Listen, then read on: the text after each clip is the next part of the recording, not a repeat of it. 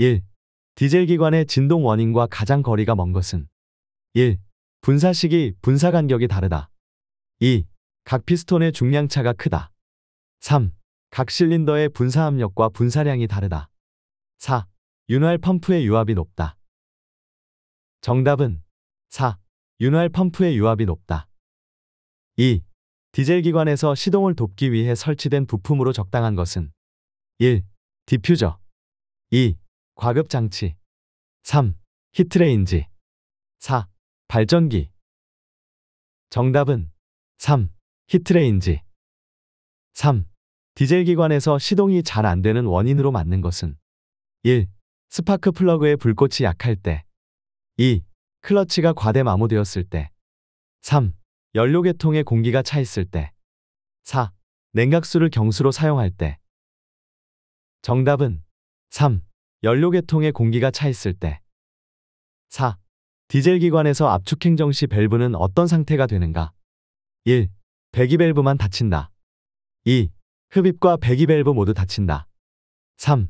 흡입 밸브만 닫힌다. 4. 흡입과 배기 밸브 모두 열린다. 정답은 2. 흡입과 배기 밸브 모두 닫힌다. 5. 디젤 엔진은 연소실의 연료를 어떤 상태로 공급하는가? 1. 가솔린 엔진과 같은 연료 공급 펌프로 공급한다. 2. 노즐로 연료를 안개와 같이 분사한다. 3. 기화기와 같은 기구를 사용하여 연료를 공급한다. 4. 액체 상태로 공급한다. 정답은 2. 노즐로 연료를 안개와 같이 분사한다. 6. 작업 현장에서 드럼통으로 연료를 운반했을 경우 올바른 주유 방법은 1. 불순물을 침전시킨 후 침전물이 혼합되지 않도록 주입한다. 2. 불순물을 침전시켜서 모두 주입한다. 3. 연료가 도착하면 즉시 주입한다. 4. 수분이 있는가를 확인 후 즉시 주입한다. 정답은 1. 불순물을 침전시킨 후 침전물이 혼합되지 않도록 주입한다. 7. 방열기에 물이 가득 차 있는데도 기관이 과열되는 원인으로 가장 적절한 것은 1. 에어 클리너가 고장났기 때문 2. 펜벨트의 장력이 세기 때문 3. 정온기가 폐쇄된 상태로 고장났기 때문 4. 온도계가 고장났기 때문 정답은 3. 정온기가 폐쇄된 상태로 고장났기 때문 8. 작업 중 엔진 온도가 급상승하였을 때 먼저 점검하여야 할 것은 1. 고부하 작업 2. 장기간 작업 3. 윤활유 수준 점검 4. 냉각수의 양 점검 정답은 4. 냉각수의 양 점검 9. 점도 지수가 큰 오일의 온도 변화에 따른 점도 변화는 1. 적다 2. 크다 3. 온도와 점도 관계는 무관하다 4. 불변이다. 정답은 1. 적다. 10. 오일여과기의 역할은 1. 오일의 순환작용 2. 오일의 합송 3. 오일 세정작용 4. 연료와 오일 정유작용 정답은 3. 오일 세정작용 11. 건식 공기 여과기 세척 방법으로 맞는 것은 1. 압축증기로 안에서 밖으로 불어낸다. 2. 압축 공기로 안에서 밖으로 불어낸다. 3. 압축 증기로 밖에서 안으로 불어낸다. 4. 압축 공기로 밖에서 안으로 불어낸다. 정답은 2. 압축 공기로 안에서 밖으로 불어낸다. 12. 기동 전동기의 마그넷 스위치는 1. 기동 전동기의 저항 조절기이다. 2. 기동 전동기의 전류 조절기이다.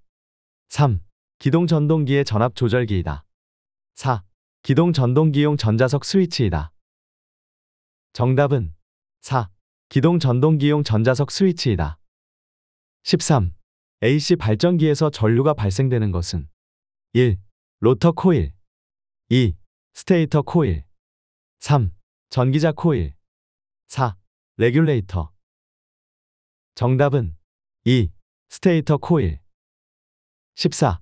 6기통 디젤 기관에서 병렬로 연결된 예열 플러그가 있다. 3번 기통의 예열 플러그가 단락되면 어떤 현상이 발생되는가? 1. 전체가 작동이 안 된다. 2. 3번 옆에 있는 2번과 4번도 작동이 안 된다. 3. 축전지 용량의 배가 방전된다. 4. 3번 실린더만 작동이 안 된다. 정답은 4. 3번 실린더만 작동이 안 된다. 15. 전자제어 디젤 분사장치에서 연료를 제어하기 위해 센서로부터 각종 정보를 입력받아 전기적 출력 신호로 변환하는 것은 1. 자기진단 2. 제어 유닛 3. control sleeve actuator 4. control rod actuator 정답은 2.